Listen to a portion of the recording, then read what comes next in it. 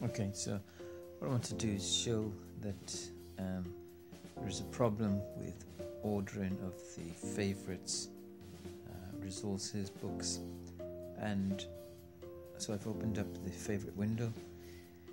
And so let's just give you an example.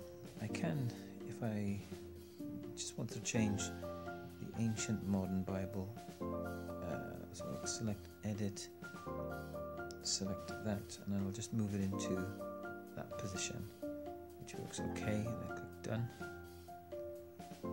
Okay that's worked. Um, but let's just see if I wanted to change it with a different resource which is further down in the list. I click edit and say I wanted to use something like new resource. Um, and I've tried this for several different resources and they all work the same. So the Wiersbe Study Bible, for instance, which is a new resource I've purchased. So let's take hold of this and let's put this up into the first place position. So I'm just dragging it up and then I'm going to move it across to the position number one in the favorite section. I'm going to put it there. Right, looks fine and I can just scroll up and down. Looks okay press done. Bang. It disappears and Psalms Spurgeon replaces it. Um, and I can do that with another resource. So let's just. I've, I have got a lot of resources so I don't know if that's one of the problems the hard sayings of Jesus for instance. Let's click on that. Let's go up it would be easier if this was a lot quicker as well, but it isn't. Especially if you have a lot of resources, it's not quick.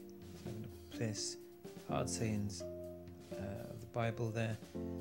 Then we've got Psalms by Spurgeon, which I don't want there. Ancient, modern, and then 1 Corinthians. So click on done. And we get Encyclopedia Bible difficulties now being placed there.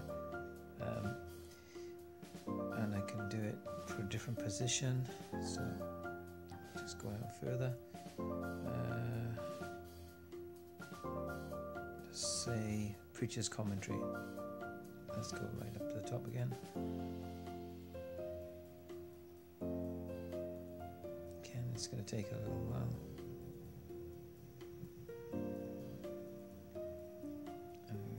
That there.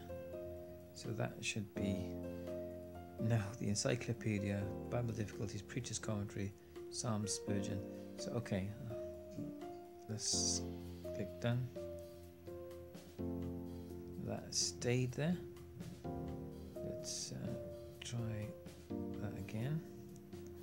The different results. So that's good. That's positive. It stayed there. Uh, Let's try our All Religions One?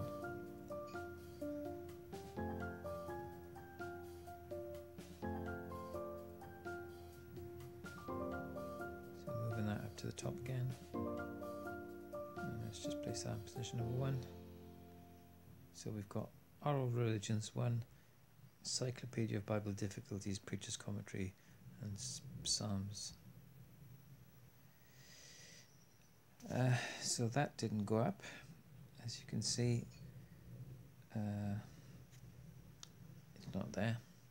And the ancient modern Bible has now replaced that row. So let's just try one more time. I'm going to scroll right down. Say I want to, to move another um, problem I see as with the favorites section is that it could be categorized. If you've got a lot of resources like I have, then if it was categorized, you know, just have simple folders within this uh, study Bibles, just like a, a, folder icon, a study Bibles, um, commentaries, um, and even allowed to put your own folders in there so that you could just quickly go to them. That would be really cool. Um, so I wonder if that could be included. So so let's move the Holy Bible with Strong's up. So click on there. So move that right up. Because you can see it is very slow doing uh, this. So folders and customizable folders in this section would be brilliant. Would save a lot of time. Right, so I'm going to put that up the top and I'm going to put that on the first row, position number four. See what happens.